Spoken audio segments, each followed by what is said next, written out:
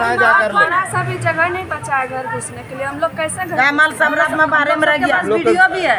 बना के रखे कि कितना हम लोग घर से घर में जाके देखिएगा सब तब तब पता चलेगा हम लोग यहाँ से क्या घर बताएँ। जाके अब बोलता है क्या थाना मेरे जेब में रहता है जो कर रहा हूँ हाँ, कर लो। बताते हैं बार बार, अभी तक अभी जब गए हम सब गाँव कल वापिस सारा गाँव वाला सब हंस रहा था। बोला अब देखा क्या हुआ बे? कुछ नहीं कर पाया क्या कर पाया? ऐसे ही गोड्डा की लुकलुकी में दो पक्षों में विवाद बड़ों के विवाद में गड्ढे में गिरी नन्ही बच्ची टूट गए हाथ।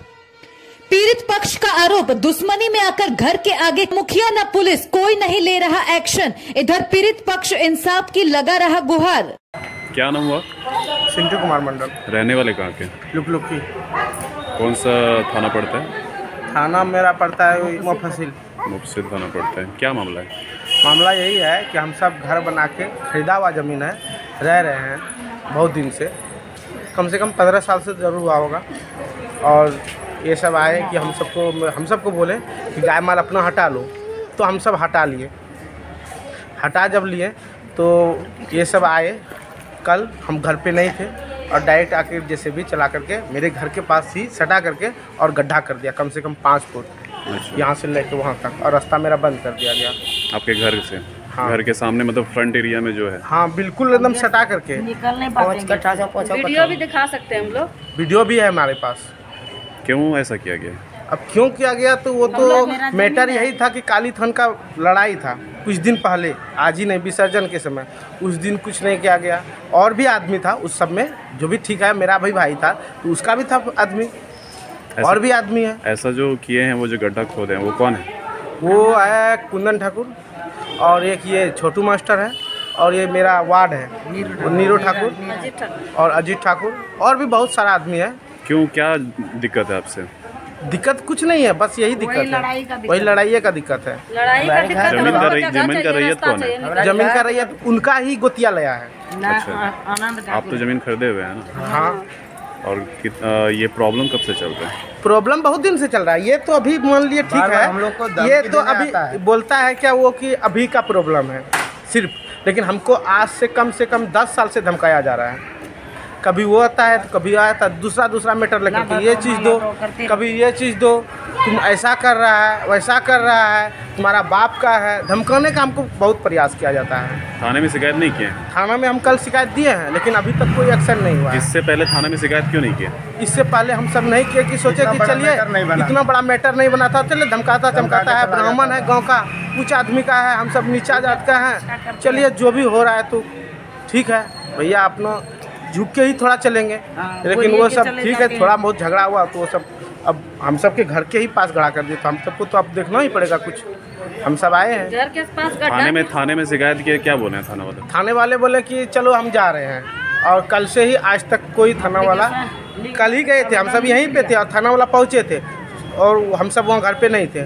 और फिर शाम में हम सब यहीं पे थे, बोले कि चलिएगा, बोला, ठीक है, हम जाएँगे। और अभी तक कोई नहीं पहुँचा है वहाँ पे। तो गड्ढा करने के गड्ढा करने के वजह से ही बच्चा गिर गया है, बच्चा का हाथ टूट गया है पूरे। अभी अभी डॉक्टर को दिखाया है, देखिए।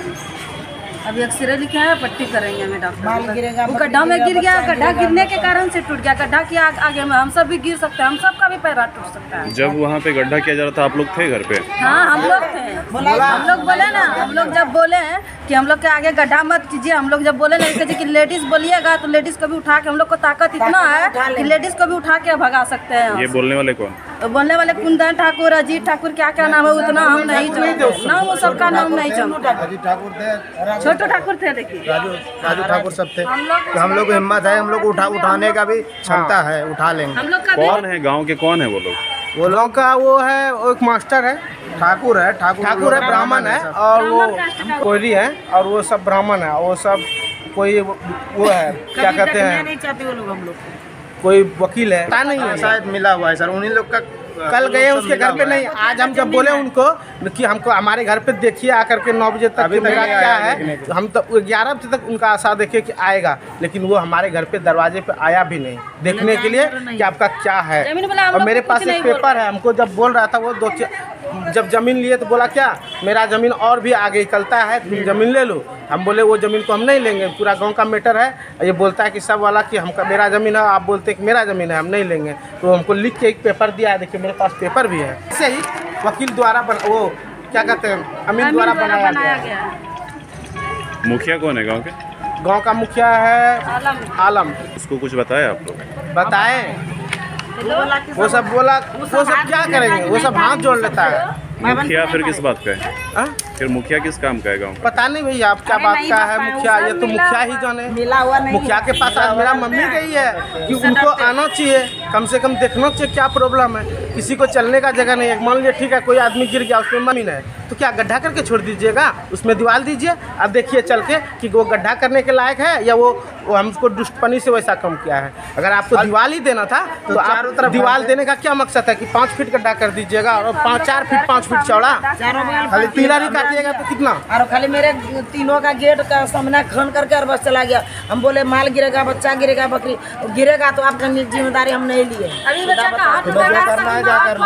जगह नहीं बचा है घर घुसने के लिए। हम लोग कैसे घर माल सब रस में बारे में रह गया। वीडियो भी है। बना के रखे कि कितना हम लोग घर से घर में जाके देखिएगा सब तब तब पता चलेगा हम लोग यहाँ से क्या बताएँ। अब बोलता है क्या थाना मेरे जेब में रहता है जो करना हाँ, कर लो। बताते अभी तक अभी जब गए हम सब गाँव कल वापिस सारा गाँव वाला सब हंस रहा था। बोला देखा क्या हुआ बे? कुछ नहीं कर पाया क्या कर पाया? ऐसे ही पागल हो जाएगा और मर जाएगा ये सब लेकिन कुछ मेरा कुछ नहीं कर पाएगा। हम अभी तक कोई कार्रवाई नहीं कर पाया। क्या बोले? है, है? मेरा नाम राजेश कुमार। पिताजी का नाम क्या है? गणपत मंडल। है और जो रहते हैं जहाँ वो जगह का क्या नाम है? उस जगह का लुक लुक की है लुक लुक की है। गाँव का प्रमुख जगह है शीतला स्थान